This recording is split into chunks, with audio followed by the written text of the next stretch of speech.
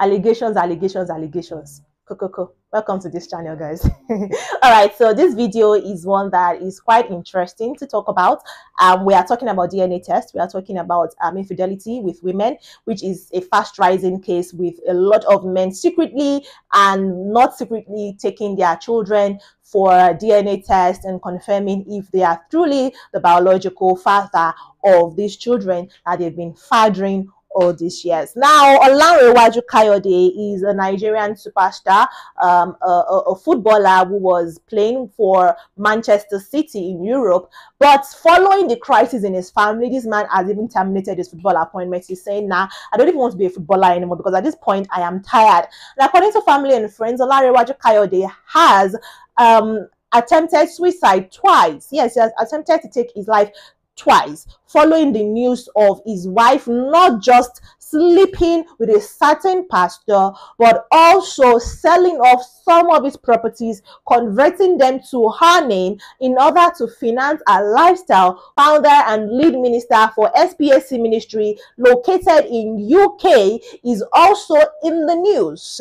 This time not for fraudulent activities, but for sleeping with a married woman, conniving with her to, you know, sell some of his properties, sell some of his cars in order to finance their lifestyle. It is now being reported that Olanrewaju Kayode's three children, whom he thought, I mean, whom he shares with Dora Ezine Olanrewaju, his wife of so many years, do not belong to him. Apparently, this woman has been sleeping around on this man since forever, even since before he got to know of his wife's relationship with Pastor Tobi Adegboyega. Um, in a recent turn of events, it is now being alleged that um, his three kids are not his and Kayode is just beyond devastated. Now, let's look at it this way. Both of them are already in court. You know, there's already been several injunctions, several, you know, things being spoken. Kayode has come out publicly to say if you do any business with Dora and you're getting properties from her, you're getting cars from her, just that these are my cars and I'm going to come for them. I'm in the court to request, you know, her to not be able to do any of these things with my property um, because she's working with Dora, um, with um, Pastor Tobi Adegboyega to siphon and take my money from me. And now, if you now had add the fact that his three children are not his, coupled with the fact that Dora has been said to have lied to Kayode from the very beginning. Apparently, she's seven years older than she mentioned to Kayode. So for their union to work, she had reduced her age by seven years because she was way older than Kayode, and she knew that Kayode Olanrewaju would not have, you know, gotten together with her if she had reviewed her real age. So that happened. And then um, he got to know that she had lied about her age. She had been sleeping around on him, went for DNA test. The children are not his. And if this gets to court, and it's like a new twist to the custody battle because uh, if you're a lawyer or if you're not even a lawyer, if, if you know how this thing works, I would like to hear from you. Can you just come and tell the court of law that, see, I don't have to give this woman anything. I don't have to part with my property. I don't have to pay child support because these children are not mine or does it work that because his name is already on the birth certificate, he has to still pay her some money because he is registered legally as the father of these children, even though DNA test has allegedly proven that he's not the father of all three, not even one, all three of these children.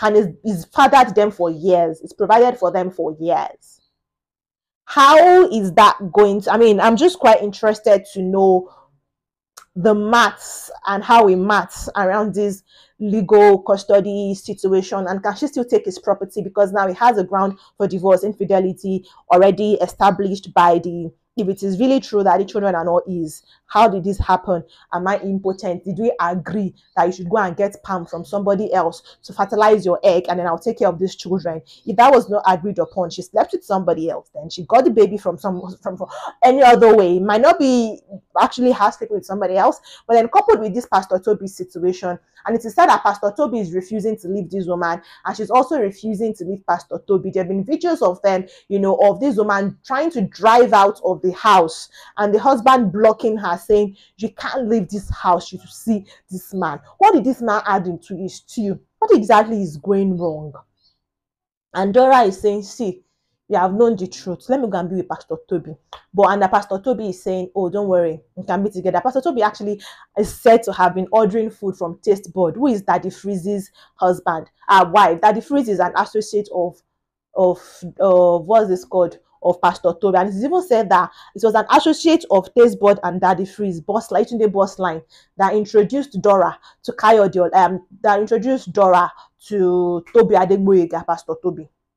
That, that was how it happened. Started in the first place. So he's been ordering food from Taste Buds, delivering it to Dora. She's been feeding her husband, Pastor Tobi's buds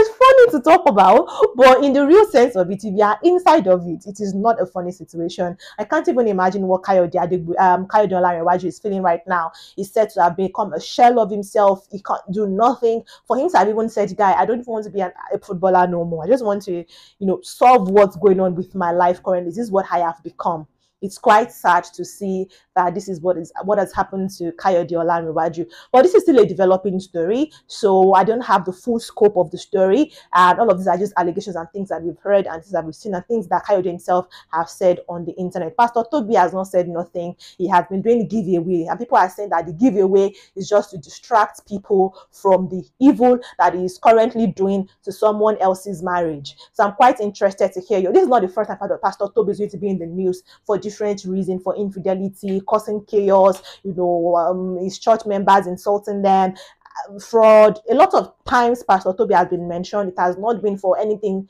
rather uplifting, for the lack of a better word. So I'm very much interested to hear what you will say and how this case will unfold. If you are privy to the matter and you have more details, you can let me know in the comment section. Let's talk about it. Let's talk about it. Give me more updates so we'll know how this case progresses. Anyways, guys, that's it for this video. Um, thank you so, so much for watching subscribe to this channel if you're here to do so. This is GistTube TV we bring you everything entertainment everything lifestyle news reports and happenings across the globe. I will see you in the next one. If you enjoyed this one give it a thumbs up and ciao